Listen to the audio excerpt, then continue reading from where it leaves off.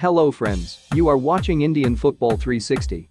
From the first season of ISL, the Emerging Player of the Year award is given to the most consistent young performer. In this video we will see all the ISL Emerging Player Award winners and where are they now. Please watch the full video to know how the top young footballers of ISL are doing. If you are new to this channel then make sure to subscribe to our channel to get all the latest footballing news from ISL I-League and Indian football. Number 5. Sandesh Jhingan. As a 21-year-old, centre-back Sandesh Jhingan broke into the Indian Super League scene in style and put in impressive shifts at the back for Kerala Blasters. He became the league's first emerging player of the year and has since established his career at the Kochi-based club, going on to register 76 appearances across five seasons. He is also the first choice centre-back for the national team, though he is currently out with a long-term injury. Number 4.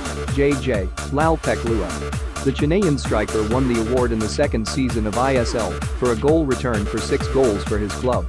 However, it could be argued that he was not an emerging player since he had already done well at Arrows, Pune FC, Dempo and Mohun Bagan before the 2015 season of ISL.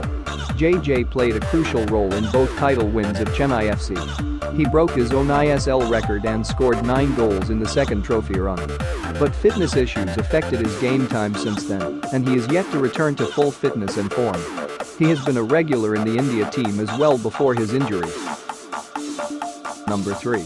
Jerry Lalrinzuala. Left back Jerry Lalrinzuala is the youngest winner of an Emerging Player of the Year award in ISL. He won it in the third season when he was just 18 years old. He has not been able to match the standards he set for himself since Chennai's title win in 2018. After starting 20 matches for Chennaiyin in the 2017-18 season, Jerry has only featured 12 times in the lineups in the last two seasons.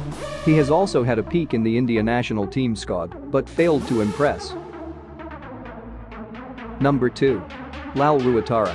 Since excelling at the left-back role under Rene Meulensteen and David James in the 2017-18 season, the Kerala Blasters defender has completely gone off the radar due to form and fitness issues. He has struggled at the international level as well. Since winning the award, he has not been able to follow it up with good displays. He played 10 games under James in the following season and is yet to take the field this season under Eelco Schattorie. Number 1. Sahal Abdul Samad. The fan-favorite midfielder had a splendid second season at Kerala Blasters after impressing for the reserves initially. He thrived under David James, starting 16 of 18 league matches and showcasing his ability on the ball week in, week out.